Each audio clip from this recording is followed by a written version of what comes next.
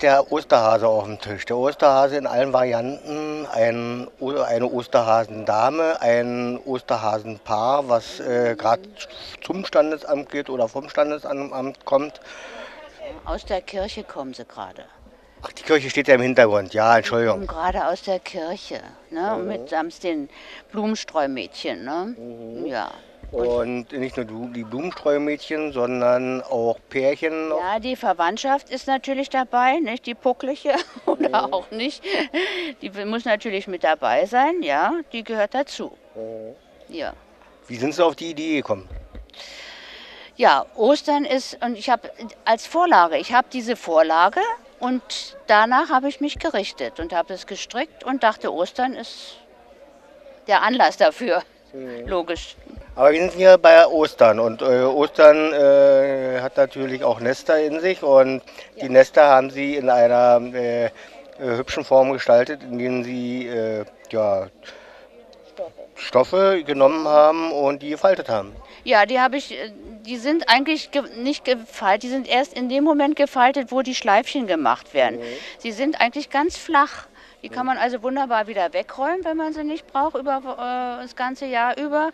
Macht man die Schleifen einfach auf und legt sie wieder flach hin und le legt sie weg. Würde ich mir patentieren lassen.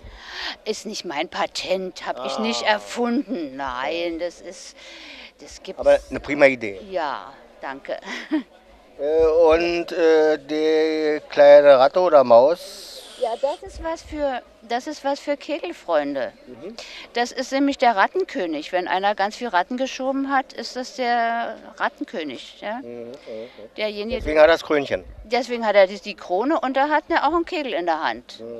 Ist nicht so doll zu erkennen, aber er hat halt auch den Kegel in der Hand. Dafür. Aber Sie haben einen kleinen rothaarigen Wicht dabei, der äh, ist ja an für sich eine Fernsehserie gewesen. Äh, leider muss, konnte die nicht mehr weitergeführt werden, weil der Papa von den Kleinen äh, verstorben ist, als der Schauspieler. Genau, ja, ja, der ist verstorben. Aber das ist der Pumuckel und den, den kennen die Kinder halt alle und nun steht er da mal. Den Pumuckl haben Sie selber äh, entworfen? Den ich selber gestaltet und den habe ich auch selber die Hände und die, und die Füße habe ich also sehr, das ist also wirklich ganz und gar mein Ding. Ohne Schnitt und ohne Vorlage, einfach nur nach einer Abbildung habe ich und nach der Beschreibung von der äh, Finderin des Pumuckls habe ich ihn so gestaltet, er hat auch ein anderes Gesicht als die Verkaufs-, also die obligatorischen Pumuckls, die man so serienweise bekommen hat, habe ich sie halt etwas anders gemacht. So. Nee, ist auch richtig, denn äh, es ist ja mal die eigene Kreation. Ja, eben das und es ist im- immer meiner dann. Mein Pumuckel. Sie bauen Boote. Genau. Modellboote historischen Ursprungs eigentlich, also historischen Schiffsmodellbau. Und äh, ich mache das eigentlich seit gut 20 Jahren schon. Modelle sind ja hier am Tisch zu sehen. Und im Augenblick bin ich dabei, diesem Rumpf hier, das soll also eine schwedische Königsjacht werden, den letzten Schliff zu geben. Das mache ich also jetzt hier und dann geht es fürchterlich los. Es staubt, aber das ist also mit die wichtigste Arbeit, um dem Rumpf eigentlich die endgültige Form zu geben. Ja. Diese äh, Schiffe sind aber nicht äh, äh, schwimmfähig, ne? Nein, die sind nicht, das sind reine Standmodelle, reine Anschauungsmodelle. Würde sich auch nicht lohnen, man müsste also viel mehr investieren jetzt an Arbeit. Und äh, die sind also von der Konstruktion her eigentlich nicht schwimmfähig. Ja. Da fehlt der Ballast und, und, und das ist also wirklich nur zum Anschauen. Wenn ich mir das Schiff hier ansehe, ist das richtig aus Latten gebaut. Ja, das sind Leisten, so wie also ein Originalschiff ja auch mit Planken oder auf Planken gebaut wird, mit Überspann. So werden also diese Modellschiffe auch gebaut. So wie das im Original eigentlich auch ist. Äh, diese Planken, die Sie da einsetzen, sind die schon vorgeformt oder müssen Sie die erst vorformen? Nee, also die, die Größe der Planke ist gegeben, das heißt also, die, die sind zugeschnitten, aber die Form muss man also jetzt diesen Planken geben. Die müssen also nass eingeweicht werden, die müssen gebogen werden, gerade hier äh, am, am Bugbereich und am Heckbereich hier. Und das ist also eine Arbeit, die man nun mit Wärme machen kann. Ich mache es mit einem sogenannten Biegekolben. Das ist also eine Art Lötkolben, nur mit einem anderen Kopf vorne drauf. Und sonst brechen sie. Also man muss die tatsächlich vorformen. Ja? Das heißt, äh, dass Sie die hier beim Formen auch drehen müssen. Ich denke hier an äh, diese äh, Latten, ja. die dann auch äh, in der Waage verändert werden müssen. Die müssen also auch eine entsprechende Form kriegen. Man sieht es ja hier auch zum Teil, dass die dann hier keilförmig zulaufen, weil man ja sonst diese Rundung, denn die, die, die Anzahl der Planken ist ja immer gleich hier. Hier ist der Hauptspand hier, die dickste Stelle und nach vorn werden sie dünner, also müssen die sich irgendwo verjüngen. Und das muss eben entsprechend angepasst und zugeschnitten werden. Wo fangen Sie an? Unten oder oben? Normalerweise fange ich also hier oben an, etwa hier auf Höhe des Hauptdecks und gehe dann bis zum Kiel runter. Das muss dann auch äh, seitlich genau stimmen.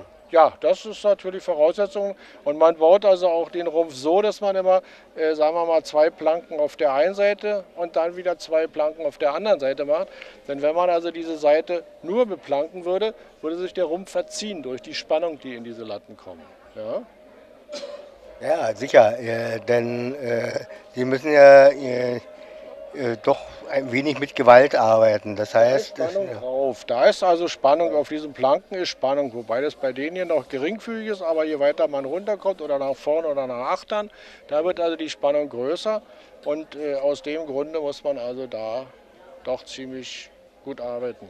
Jetzt eine ganz einfache Frage. Bauzeit, wie lange brauchen Sie, werden Sie brauchen? Die Frage wird sehr häufig gestellt. Also das, was ich hier in der Hand habe, bei diesem Modell äh, habe ich mir nämlich mal so einen Arbeitszettel eingerichtet.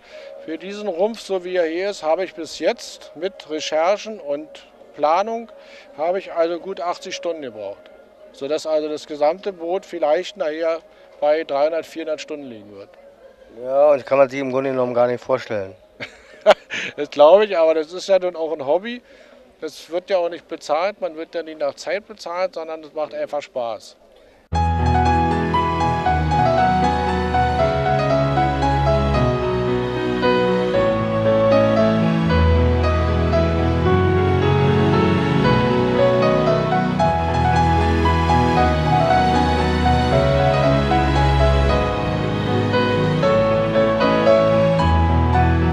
Herr Gräfe, wenn ich mir Ihr Hobby betrachte, dann fällt mir ja auf Anhieb an, kein Anschluss unter dieser Nummer. Ja, das ist richtig. Das ist damit eng verbunden. Äh, Sie sammeln Telefone und äh, ja, aus der Anbeginn der Zeit kann man beinahe sagen, äh, bis in die heutige Zeit. Die modernsten Telefone sehe ich allerdings nicht, aber ich gehe mal davon aus, dass bei Ihnen ein ganz modernes Telefon zu Hause ist. Ja, ich habe ein normales, modernes Telefon zu Hause. Die Post hätte es gerne so, sonst wäre mit Sicherheit keins vorhanden. Ähm, ich sammle Telefone, die heutzutage am analogen Anschluss noch funktionieren würden. Mhm. Angefangen mit dem ZB08, entwickelt 1908, bis zum W49, entwickelt 1949. Und danach fing dann leider das Zeitalter an, wo die Telefonapparate mit Kunststoffgehäusen und später mit Zahlen mit, mit Tastaturwahlblöcken ausgestattet worden und die gefallen mir einfach nicht mehr und die sammle ich auch nicht mehr. Die alten Telefone oder die älteren Apparate, die waren aus Bakelit. Bakelit ist ja ein Kunststoff, der so zwar sehr haltbar ist, aber sehr bruchgefährdet. Und deswegen ist man davon abgegangen. Es ist so schwieriger in der Herstellung als heutzutage die Duoplaste, die einfach tief gezogen werden und dann ist das Ding fertig, wird aus der Form genommen, ist fertig. Diese Bakelitgehäuse, die mussten noch nach der Produktion aufwendig poliert, geschliffen werden, was heutzutage kein Mensch mehr machen würde. Die sind einfach von der Herstellung her zu teuer, diese alten Apparate. Wie sind Sie auf die Idee gekommen, äh, Telefone zu sammeln? Ja, ich habe seit längerer Zeit zu Hause ein, älteres Apparat, einen älteren Apparat von der Baureihe gehabt und habe mich eigentlich an der Funktion begeistert von diesem Apparat. Mhm. Und äh, dann mit dem Fortschreiten der Technik und Internet und so weiter wurde dann einfach der Kreis größer, auf den man zugreifen konnte, auch vom, von Interessen her. Und da hat sich das so entwickelt mit den Telefonen. Das ist ein Selbstläufer sozusagen. Wir haben hier ein Telefon, äh, wenn ich das mal kurz mal äh, annehmen darf, äh, aus, auf Holz. Und wenn ich das mal so zeigen darf hier, einmal sieht es so aus und äh, zum anderen so. Äh, ist das ein Tischtelefon nee, oder? Das ist ein Teil einer alten Haustelefonanlage. Das war mal ein Wandapparat. Von diesem Wandapparat ist lediglich nur noch der Nummernschalter mit der vorderen Platte übrig geblieben. Mhm. Mehr existiert nicht mehr. Hier ist praktisch ah, ja, ja, ja. Äh, derselbe Wandapparat nochmal in etwas kompletteren Zustand als diese lediglich vordere Platte. Das ist vermutlich vom Hotel. Genauer bestimmt kann ich es nicht. Zwar äh, fehlt unten bloß noch die Glocke. Da fehlt die, die Weckerschale, das ist richtig, und der Hörer eben. Ja, das ist ein Fernsprecher-Prüfgerät, entwickelt in der DDR und in die Ringstückzahlen auch hergestellt. Der ist einfach dazu da, um die Teilnehmerapparate, also die, sprich die Fernsprechgeräte zu prüfen, die Fun einzelnen Funktionen der Geräte zu prüfen, ob sie in Ordnung sind. Eine andere Funktion hat dieses Gerät nicht. Also eine ganz einfache Angelegenheit, äh, um äh, die Geräte äh, auf dem Laufenden zu halten. Ja, auf dem Laufenden zu halten, Funktionen zu überprüfen und bei Reparaturen eben festzustellen, ob sie in Ordnung sind. Es können von dem Telefon alle Funktionen überprüft werden, angefangen über einen Nummernschalter, über das Mikrofon, über einen Lautsprecher, über die Anschlusskabel. Das ist alles zu überprüfen mit diesem Gerät.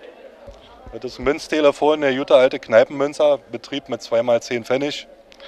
Äh, war die einfachste Möglichkeit für den Postkunden, äh, anderen Teilnehmern ein Telefon zur Verfügung zu stellen. War mit einigen Problemen behaftet, aber es mussten alle Teilnehmer damit leben. Heutzutage wird sowas von der Post leider nicht mehr zur Verfügung gestellt, dadurch die Taktung äh, der Aufwand viel zu groß ist, um sowas noch zu machen. Darf ich mich bei Ihnen recht herzlich bedanken. Bitte.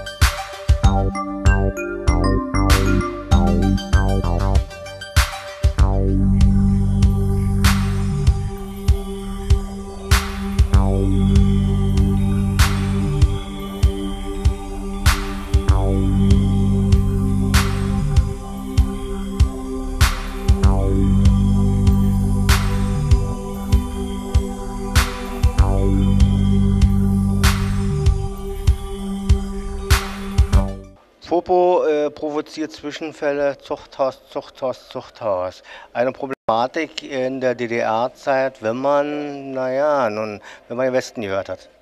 Ja, ist richtig, nicht? Das war ja damals auch sehr kritisch an der Mauer. Ich bin also 61 schon rumgefahren jeden Sonntag, habe noch auf Normal 8 gefilmt, wo man die Spule ja umdrehen musste. Und äh, das war sehr kritisch, da über die Mauer zu gucken, ja, auf diesen Podesten die waren furchterregend, ja, so wie die rüber geguckt haben. Nicht? Und am 13. wurde ja die Mauer gebaut. Hier ist die BZ von 61, die ist vom 29. Da haben wir zum Beispiel Zuchthaus, nur weil sie westliche Sender hörten. Das hatten wir alles schon mal 43 bei unseren, naja, wie man nennen wollen, ist egal. Sag mal, die lieben Volksempfänger sprechen ja heute noch davon. Ne? Und äh, es war eigentlich auch ganz schlimm. Nicht? Die, die Pressefreiheit wurde mit Füßen getreten und Rundfunk hören war eben sehr kritisch. Also eine der sozialistischen Errungenschaften. Ja, würde ich so sehen, denn wenn wir früher Londoner Rundfunk, ich ja nicht, äh, BBC gehört haben, dieses Bum, Bum, Bum, Bum, ja, dann gab es auch Zuchthaus, ja, für die Eltern. Für mich ja nicht. Ich bin 40 geboren, ich war drei Jahre alt, wie mein Vater bei den Russen umgekommen ist. Deswegen kann ich das auch nicht verherrlichen, aber ich halte eben die Geschichte wach. Sie äh, zeigen in Ihrer Ausstellung ausschließlich äh, Erzeugnisse äh, der Ex-DDR? Wir wollten also diesmal uns ein neues Thema setzen. Das ist die DDR und die UdSSR. Die Russen haben also auch sehr schöne Radios gebaut. Die kann man da drüben nachher bewundern. Alles, was hier steht, ist DDR, bis auf den einen Volksempfänger. Der war schon vor der DDR da, 1938. Aber das Werk wurde ja, Sachsenwerk wurde ja dann auch eingemeindet in die DDR, verstaatlicht und baut trotzdem sehr schöne Radios. Ja, und da wollte ich Sie nachfragen, die Qualität der Radios, wie würden Sie die heute beurteilen? Also die Qualität der Radios war genauso gut, wie Siemens sie gebaut hat. Siemens hat ja Nora aufgekauft damals. Und zwar 1958, 61, 62 hat Siemens die Produktion eingestellt. Und Nora war ja eine jüdische Familie, die emigrieren mussten. Wegen der Nazis, sage ich einfach frech. Und äh, man hat dann äh, wie gesagt, den Namen Nora benutzt und wenn man den umdreht, dann wird die Firma Aaron da draus und Aaron ist jüdisch und sowas durfte nicht geben. Aber sie haben wunderschöne Radios gebaut und hatten technisch also ein dolles Wissen. Alles mit in DDR. Die DDR-Fahne liegt auch auf dem Tisch. Ich habe hier noch Unterlagen. Wir haben ja immer brav unsere Transitgebühren bezahlt, nicht? dass man unsere CB-Funkgeräte mit durchnehmen durfte. Ich habe da mal ein nettes Erlebnis gehabt mit einem Freund hier am Kontrollpunkt Drewitz. Da kam ja immer der Zoll dann wegen der Funkanlagen und dann sagte mein, wie der fragte, haben Sie äh, Funkgeräte und Waffen? Und da sagte mein Freund hinten auf dem Rücksitz, braucht man das hier? Und dann durften wir dafür zwei Stunden in der Sonne stehen.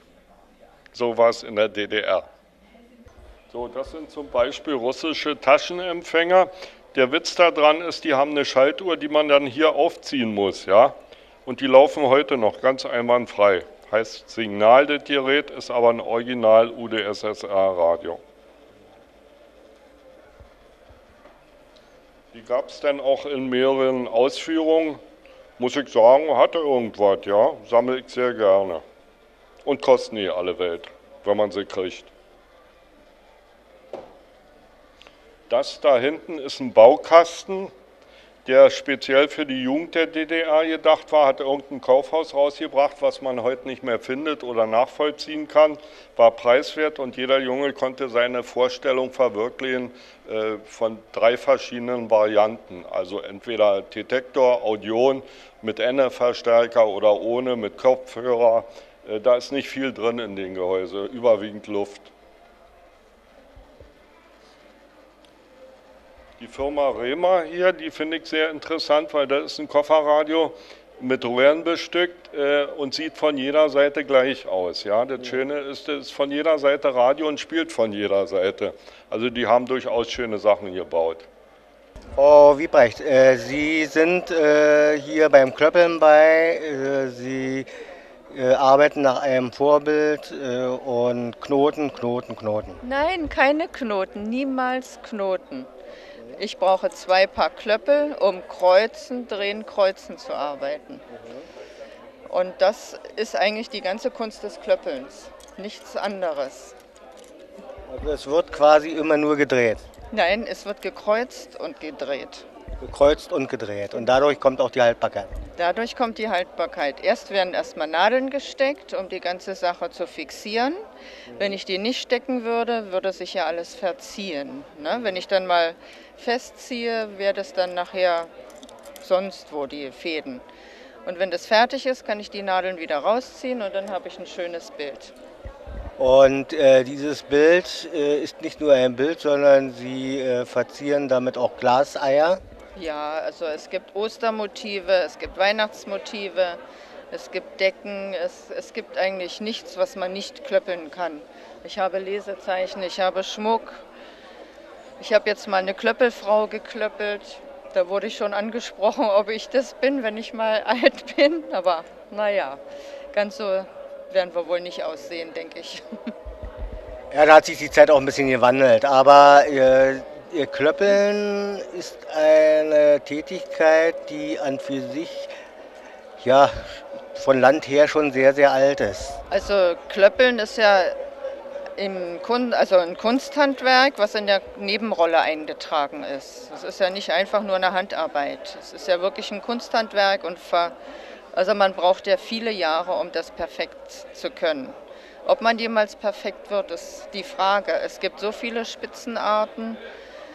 Ich glaube, da reicht ein Leben gar nicht, um die alle zu lernen. In jedem Land wird anders geklöppelt. In Russland gibt es die russische Bänderspitze, in, in England gibt es eine Tüllspitze oder in, den, in Dänemark, in Frankreich. Also es wird überall anders geklöppelt, überall mit anderen äh, Klöppeln, mit anderem Zubehör.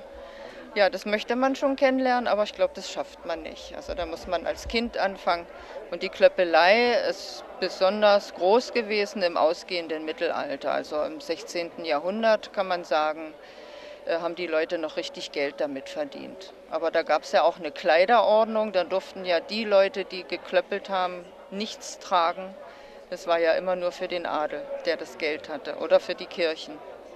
Also das heißt, dass es äh, einigen vorbehalten geblieben ist. Äh, Sie sagten ausgehendes Mittelalter, also 16. bis 17. Jahrhundert. Also die älteste schriftliche äh, Erwähnung einer Spitze ist in, aus Venedig, da in einem Testament gewesen. Da wurde Spitze erwähnt, 1400, paar zerquetschte, das genaue Jahr fällt mir jetzt nicht ein. Also das ist die älteste Erwähnung äh, wo Spitze drin vorkam, in einem Testament eines Kaufmanns. Und daher nimmt man an, dass eigentlich die Klöppelei eher aus Italien, Norditalien kommt. Aber Flandern besteht auch darauf, dass dort das Klöppeln äh, äh, eben entstanden ist, aber genaues lässt sich da nicht mehr nachvollziehen. Das äh, Klöppeln ist ja an sich auch im Vogtland sehr äh, stark vertreten. Also das größte deutsche zusammenhängende Klöppelgebiet ist das Erzgebirge.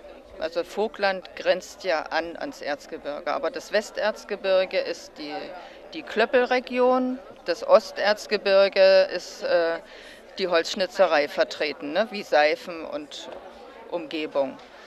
Und diese Klöppelei äh, war im Erzgebirge schon auch 15., also 16. Jahrhundert, äh, als die Silbervorkommen eben zu Ende gegangen sind, ein Erwerbszweig für die Menschen. Und da haben auch Kinder und, und Männer, da mussten die ganzen Familien dafür sorgen, dass Brot auf den Tisch kam. Und das muss, haben sie eben auch mit Spitzen getan, also Spitzenklöppeln getan. Sie haben es eben sehr gut gesagt, dass das Boot auf den Tisch kam. Es war eine dringende Notwendigkeit und hat mit Hobby überhaupt nichts zu tun gehabt. Nee, also damals hat man an, überhaupt an kein Hobby denken können. Das war wirklich Lebenserhalt in der Zeit für die Menschen. Und da gab es dann Verleger, die haben die Muster gebracht, die haben das Garn gebracht und die Leute haben geklöppelt und die Verleger haben das dann wieder abgeholt für ein paar Pfennige. Also die Menschen waren arm dran, die nachts bis in die Nacht hineingesessen haben bei Schusterkugel und, und äh, Petroleumlampe, um da was herzustellen. Also die Geschichte ist super interessant, äh, was die, diese Gesch Sache anbelangt. Klöppeln ist nicht nur einfach, äh, sagen wir mal, wie heute, dass ich mich hier hinsetze und mein Hobby vorstelle. Der Mensch möchte manchmal gerne in die Zukunft gucken. Das heißt, er möchte auch äh, sich mit dem beschäftigen, was vielleicht sein könnte. Und dieses vielleicht sein könnte, äh, lässt natürlich die Fantasie doch unheimlich anregen. Äh, ich hatte eben diese Platte hier äh, mir angeguckt, konnte mir im ersten Moment nichts darunter vorstellen, aber anhand der äh, Zahlen äh, war mir dann relativ schnell klar, dass es sich hier um eine Art Spiel handelt. Ist das richtig so? Ja, ist richtig so. Es ist so ein sogenanntes Tabletop-Spiel. So, das heißt Blood Ball, ist so ein, sag ich mal, wie in der Realität so ein Footballspiel, nur eben auf Fantasy-Weise. So kann man dann verschiedene Völker aneinander antreten, die dann eben versuchen müssen, einen Touchdown zu kriegen. So. Da geht es in der Regel um Schlachten. Das heißt, äh, es geht um einen äh, Säbelringer, äh, Säbelschwinger und äh, einer hier vorne bläst das Horn. Das heißt also, irgendwo setzen die dich mit, mit irgendwas auseinander. Ja, ich sag mal, der mit den Horn ist der Schiedsrichter und es ist ja auch ein richtiges Mannschaftsspiel, so wie sag ich, Fußball oder Volleyball, Handball und es ist eben halt Football und nur ein bisschen ausgeprägter und mit ziemlich viel Fantasie, mit Monstern, die gegeneinander kämpfen und so. Und eben auch Menschen gibt es auch, die dann versuchen eben natürlich den ersten Platz immer zu halten, damit keine Monster eben die Herrschaft, sag ich mal, übernehmen und so. Und so wie ich aber sehe, äh, haben Sie hier ein Handbuch und dieses Handbuch äh, nennt sich äh, Blutbaul, also äh, Blutkugel, gehe ich mal von aus. Seid ihr? Ja, so irgendwie so ein Ei so von dem, wie beim Football halt so. Und in dem Handbuch sind dann eben die ganzen Regeln erläutert, wie man dieses Spiel spielt und so. Ja. Die Punkte auf den Feldern hier bedeuten dann die Standorte, ist das richtig so? Ja, ist genau. Da kann man dann eben wie beim Schach die Figuren richtig präzise eben dann setzen, sag ich mal. Jede Figur hat dann Bewegungsschritte, sechs, fünf und je nachdem kann man dann die dann so setzen. Wie sind Sie zu diesem Hobby gekommen? Ja, über Freunde und dann sage ich mir mal, hat sich das immer weiter ausgeprägt und dadurch schon lange dabei, jetzt so sieben Jahre schon. Sie äh, haben neben, äh, auf dem Nebentisch ein etwas anderes Spiel oder ist es aber mehr ein Schauspiel, nehme ich mal an? Nee, das ist auch ein Tabletop-Spiel, aber ein, ein, anderes Spiel. Das ist eben Warhammer 40.000. Das ist ein bisschen ausgeprägter als jetzt Blood Bowl, weil da kann man richtig äh, Armeen aufbauen, die riesengroß, aber auch ganz klein sein könnten. Und je nachdem, so, das ist auch ein bisschen ausgeprägter von den Regeln her, da ist es doppelt zu Buch, das Handbuch. Und auch viel mehr Fantasie, noch viel mehr. Also was viele äh, Com äh, Computeranimationen machen, machen sie im plastischen auf dem Tisch. Ja, weil Modell halt und es ist was Schönes so. Es macht Spaß. Das beinhaltet natürlich auch die Tatsache, dass man gewisse Regeln einhalten muss und diese Regeln äh, dann auch durchspielt. Ja, genau. Man kann dann auch Szenarien nachspielen, dass man irgendwie einen Panzerwrack bergen muss und so. Und dementsprechend gibt es dann, dann Regeln halt, nachdem man die spielen kann. So.